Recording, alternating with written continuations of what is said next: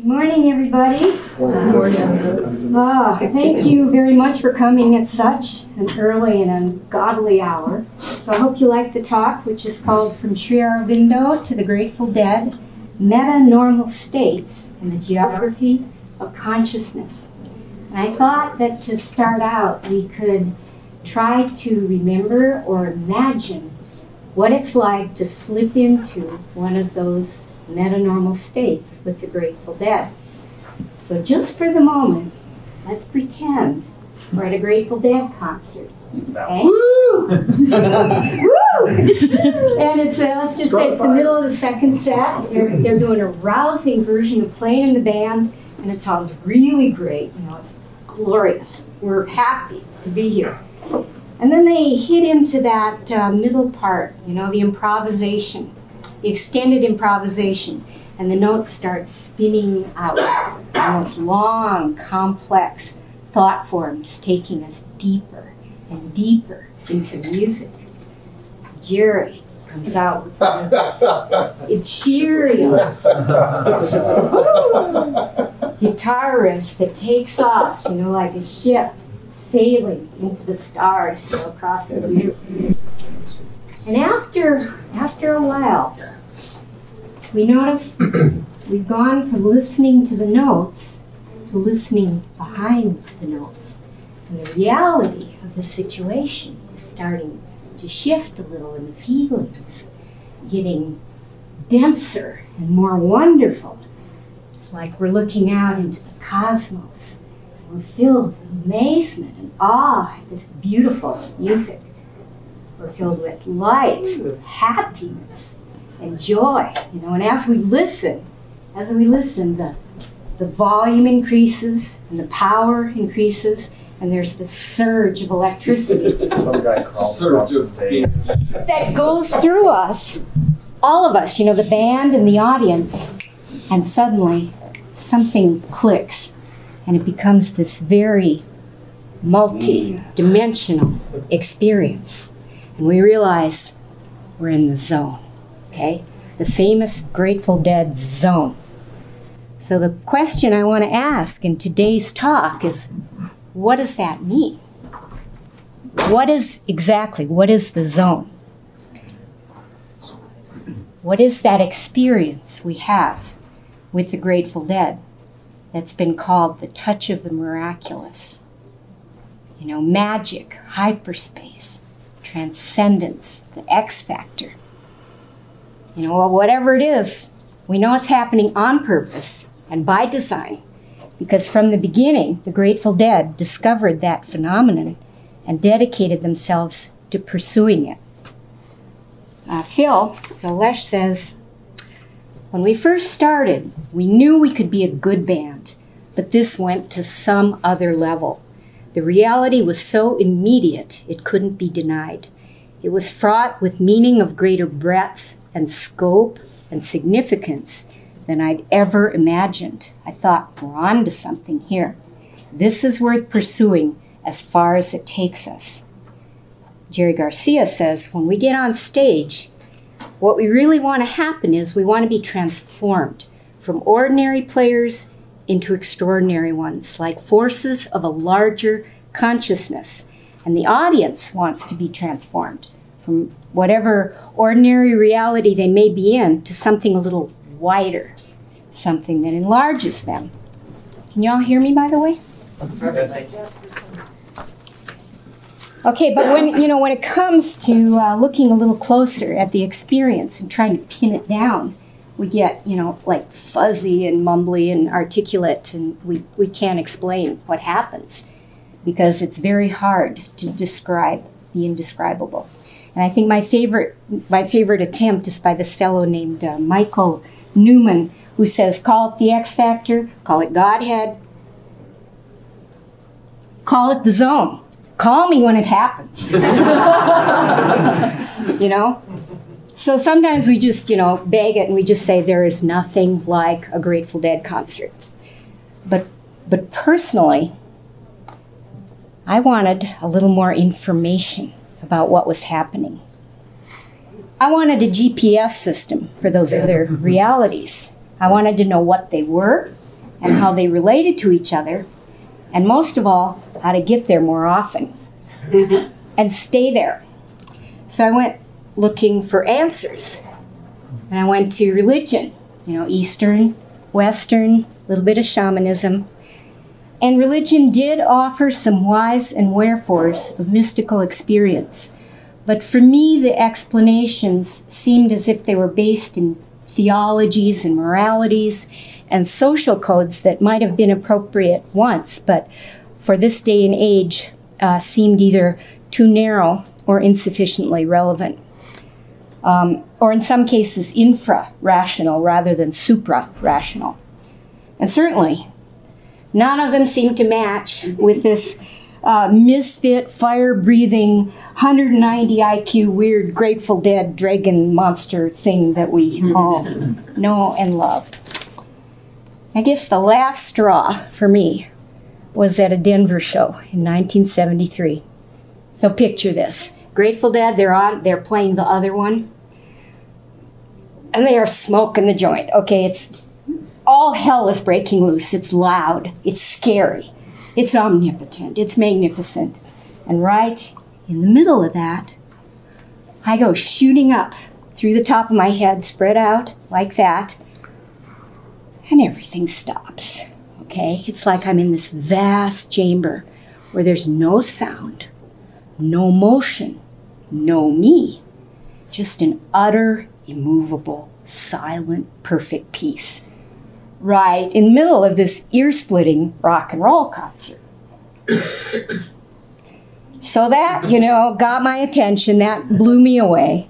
Uh, so much so that I sold everything, ran away with a mad Mexican yogi, went to India, uh, joined a gypsy caravan, lived under bridges, uh, studied cosmic determinants and indeterminables, and discovered Sri Aurobindo.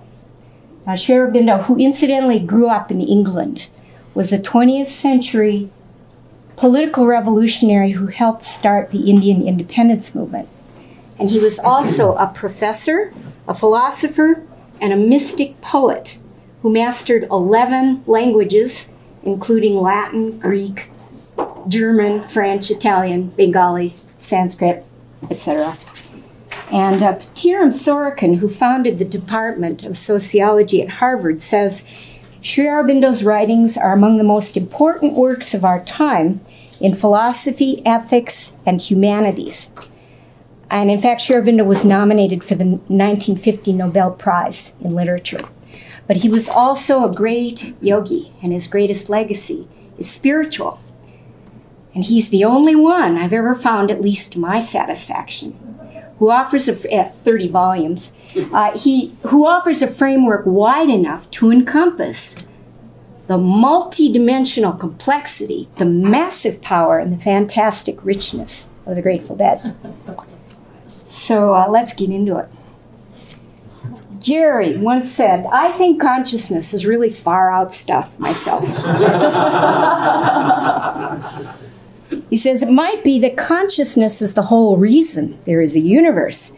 There might not be a universe apart from consciousness. According to Sri Aurobindo, Jerry is right. Sri Aurobindo says the entire universe emerges from consciousness. Consciousness is the omnipresent reality underlying all manifestation. Everything in the universe is made of consciousness. This consciousness extends from the macroscopic to the microscopic on one continuous spectrum, but it goes through different phases and states.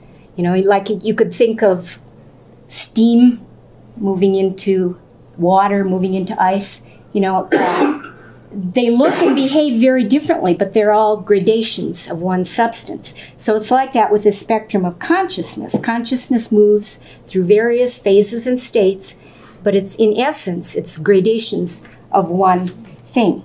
So Sri Aurobindo calls these various phases or states planes of consciousness. You could call them dimensions if you wanted. But here's the basic map. Up here, uh, is the transcendent, and this is the unified field mystics talk about. Uh, and it's an unmanifest reality whose nature is infinite existence, infinite force and also infinite bliss. And uh, that blends down into what Sri Aurobindo calls the supermind, which is where the transcendent morphs into form and starts to manifest the physical universe. And blending down from that are the levels of universal mind, universal life, and by the time you get to the bottom, you get matter, where consciousness is completely concentrated in a sort of oblivious density of external form. And each of these planes has its seasons, its evenings, and songs of its own. Or you could say, uh, like a different set of physics, sort of, for each plane, or different characteristics and properties, which we won't get into for the moment. But anyway, that's like the superstructure of the universe the foundation for the world as we know it. Okay, now as humans, we're tapped into all of these planes. See, the plot thickens because right at the core of our being, there's a series of what you could call receivers, okay, that pick up the different channels on the different levels. Sometimes they're called chakras, okay? And each one has a broadband connection to one of those planes of consciousness. Okay, so these chakras. Located in a column running through the central core of our being, one on top of the other, which forms a vertical axis of consciousness from the lowest to the highest planes inside us, okay? Access all areas. See, it's like a backstage pass for everything in consciousness. Okay, so the central core, it's just like in the science fiction movies, you know, Total Recall, Star Wars, where you go to the center of the space station and there's this vast vertical tube going up and down.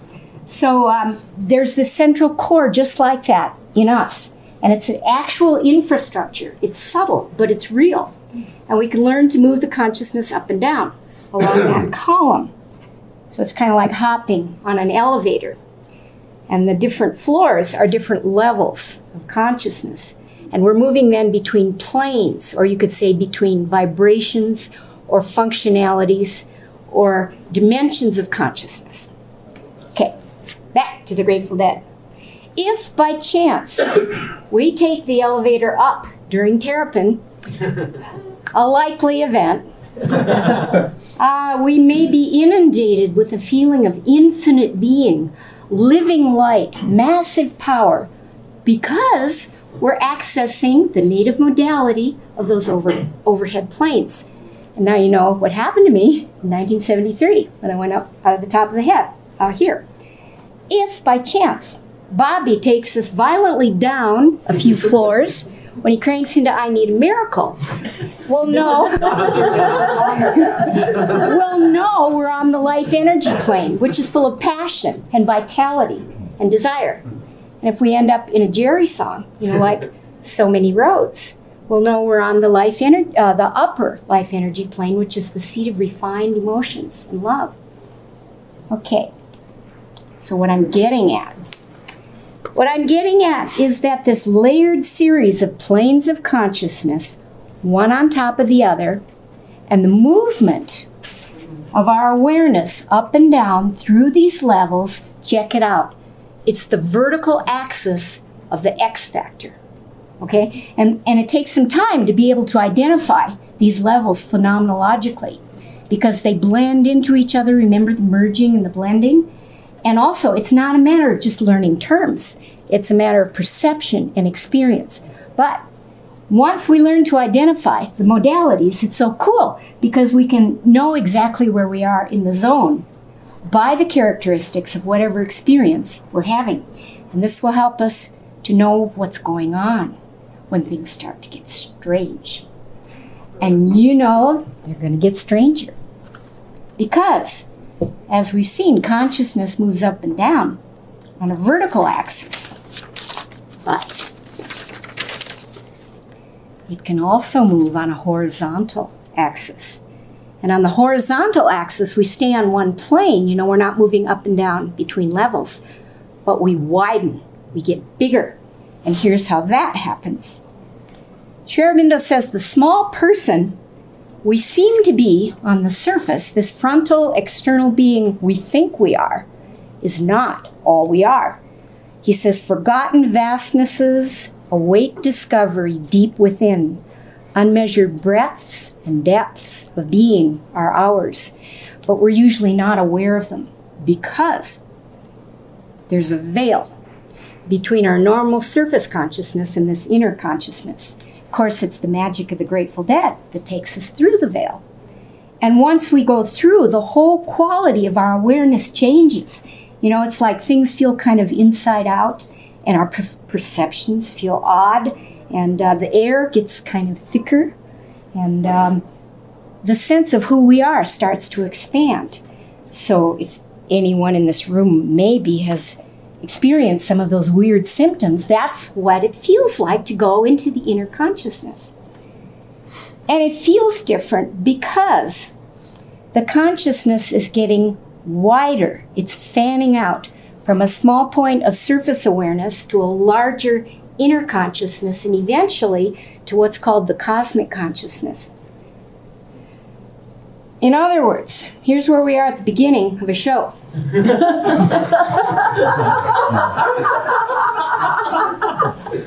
That's Bill and Ted, you know, preparing, preparing for an excellent adventure.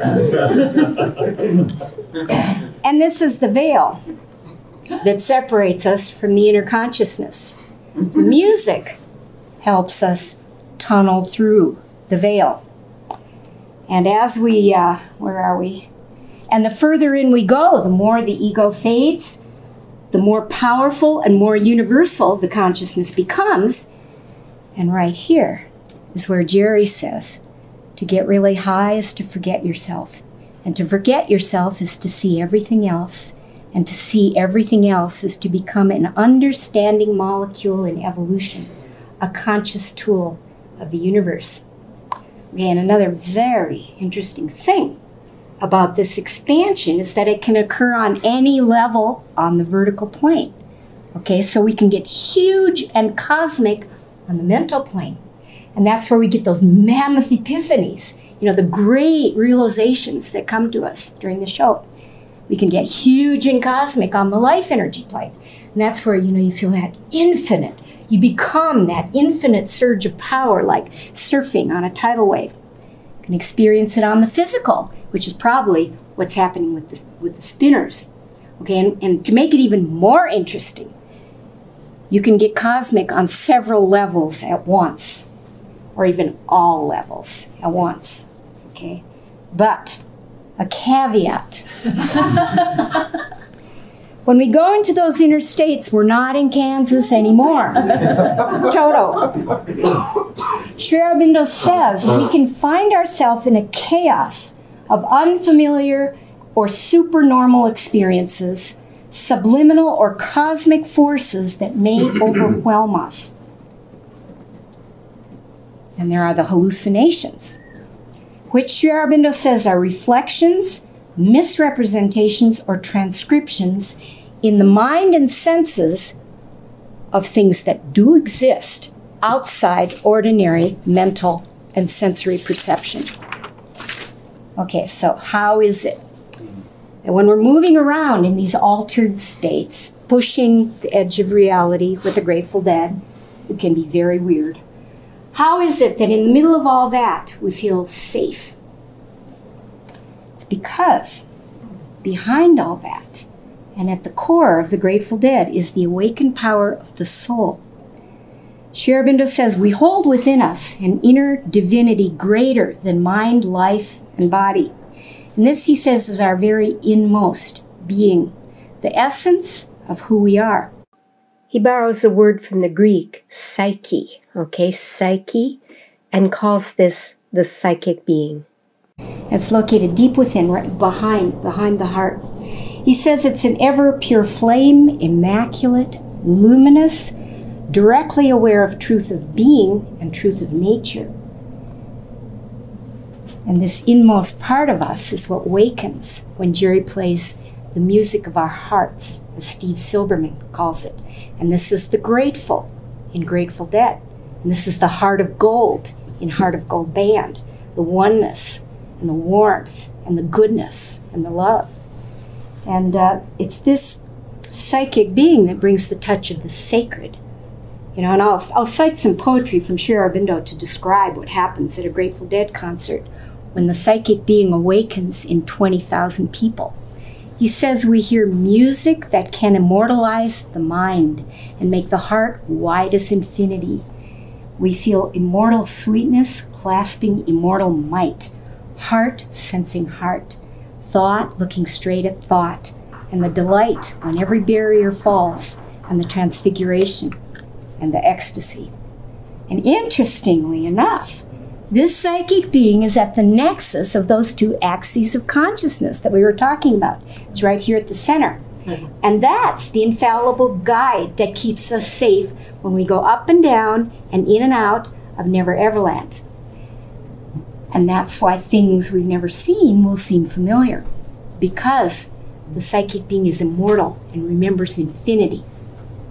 Okay, so in summary, we've talked about the vertical axis of consciousness where we can move up and down through the different levels or planes of awareness, and about the horizontal axis of consciousness where we increase the breadth and scope of our awareness, and finally about the inmost psychic being that anchors us as we move through those various adventures.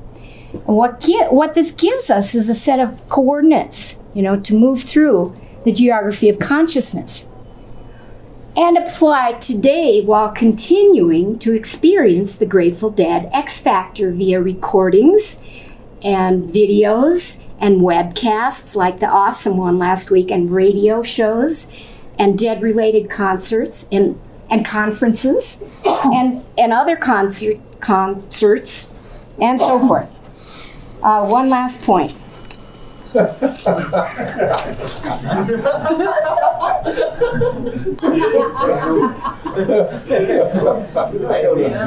Case case you can't see it, the sign says drugs. Doing nothing has never been so amazing. Okay, so so you know the joke. What did one deadhead say to the other when the drugs wore off? Music sucks. Yeah, this what is this crappy music? Okay, so in view of the counterculture history of the Grateful Dead, it's a fair and perhaps necessary to ask, is it just the drugs? Short answer, no. Drugs are one way into the zone, and there are others. And certainly in my case, I know it's not the drugs, because due to a series of horrendous trips, I had to quit psychedelics before I ever got into the Grateful Dead.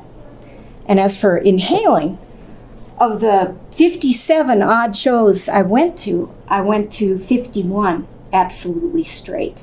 Okay, so that's why, that's why I know that there are other ways to access the zone. And that basically what makes it work is focus. You know, that is concentration, intention, and practice. The more we do it, the easier it gets. And certainly, uh, one good way to do it is by sitting under the headphones with Grateful Dead. Okay, so this is the main point I want to make in this talk. This is the take home. Sri Aurobindo says we can build bridges between these metanormal states and our surface awareness. Uh, these states, he says, and I know from experience, are accessible, reproducible, navigable, and they can come at will and be strengthened over time. And these profound realities are part of our larger, truer being, uh, our greater human heritage, you could say. So, all those times we thought we were seeing truth, maybe we were. And maybe all those times we thought we saw the divine, we did. And all those times we thought we'd discovered the secrets of the universe, we had. And all this is part of what Jerry Garcia calls bigger and better things for consciousness.